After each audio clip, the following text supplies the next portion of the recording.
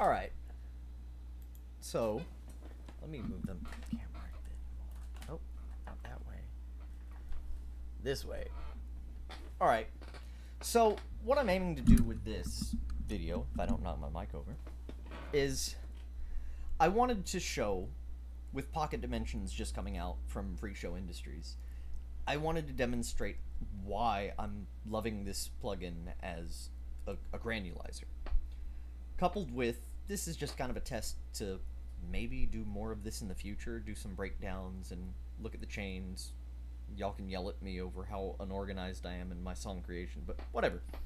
Um, so what I wanted to do is come to a section in this song that I'm working on called Spring Loaded, and I wanted to show the bassline section I'm working with. Now I've already done a sample layer, or I've already resampled it using Pocket Dimension, but I wanted to show the difference when you use Pocket Dimension on a sound and how much you can control its granulization and I mean how fun it looks to use. Like it just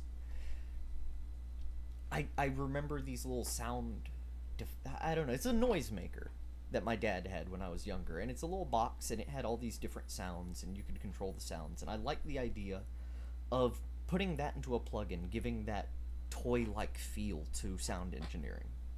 And so let's go ahead and get started. Um, let me make sure uh, that the mix is off, and so you can hear what happens without Pocket Dimension going on, or at least whatever sample I have going on. So let's go ahead and start this.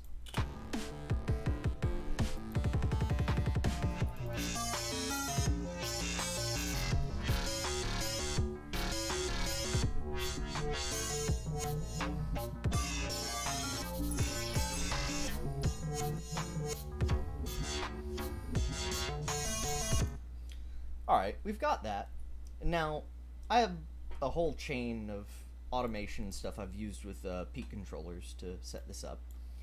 And now let's go ahead and max this mix and see what happens with this automation. And I, I'll change some things to show what you can kind of map with this. Let's go ahead and turn it on and see what happens.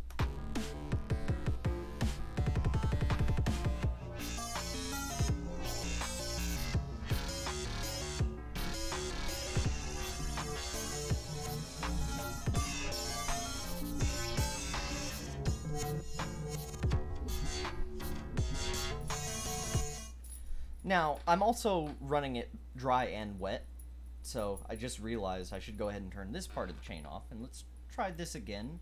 Only pocket dimension sending the sound. So, let's give this a shot.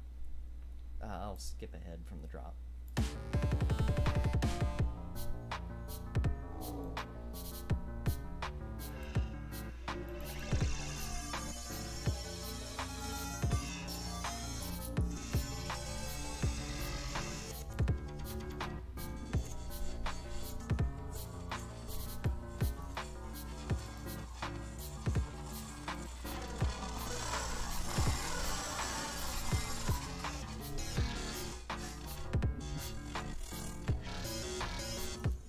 So, just with that, you can really mangle a sound.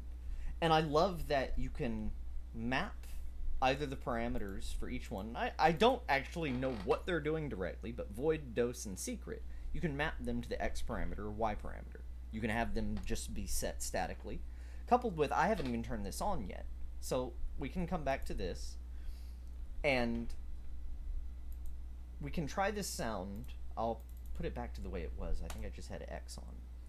And there's a whole UFO thing going on with this plugin, so I can turn this on.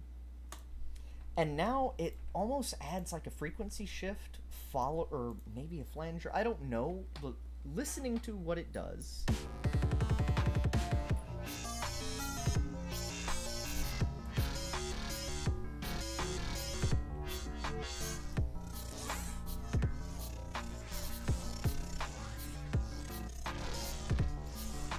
Give it these different shapes for the UFO to follow.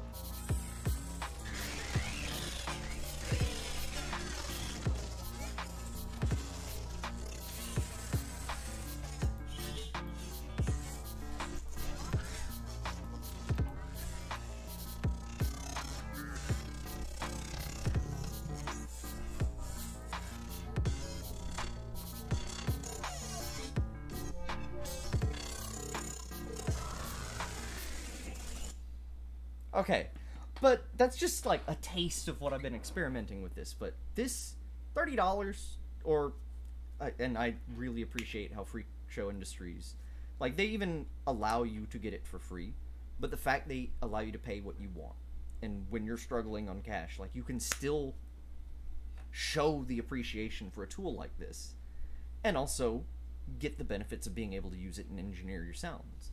Like I anyone that's getting into sound engineering, anyone that's looking for plugins to really mangle and get new spectral qualities out of their shit, I highly recommend looking at Freak Shows Industries Freakshow Industries plugins. They're wonderful, they're fun to use, they look surreal, and their advertising is great. I'm not going to spoil it. Just go to their page and look at how they advertise their VSTs and their plugins and it's it's worth it.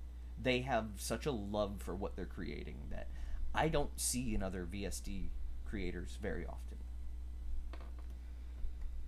So, I guess here's a test video coupled with I hope y'all got something from this. Maybe you end up looking into using Freakshow Industries plugins. Maybe you heard something that I made that sounded interesting. Whatever.